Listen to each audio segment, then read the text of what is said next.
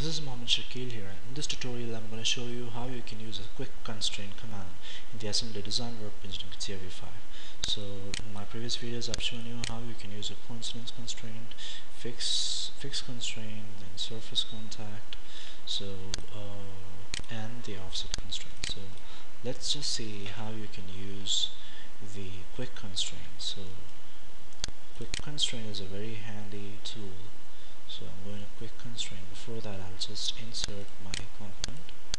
So it's going to be the tommy bar. Insert quick constraint so let's see what happens in quick constraint I'll select two axes. This axis and this axis which is the axis which I want to assemble to. So a constraint is automatically being created from this axis to this axis and the constraint is coincidence. So quick constraint automatically uh, determines which constraint is the best to be given between the two components.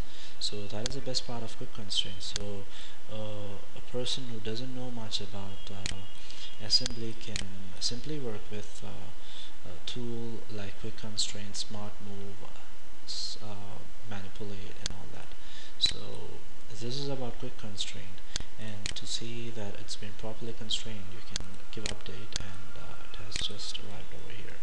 Now let me just move it. So I'll go to move and uh, manipulate.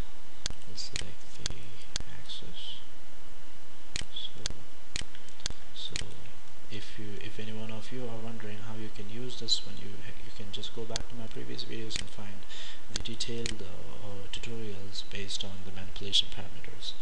So this is about uh, quick constraint in the assembly design workbench in CATIA V5. So I hope you enjoyed my video. Keep watching to see uh, the insertion of uh, two more components in this assembly design. And I hope you enjoyed. Keep watching. Thank you.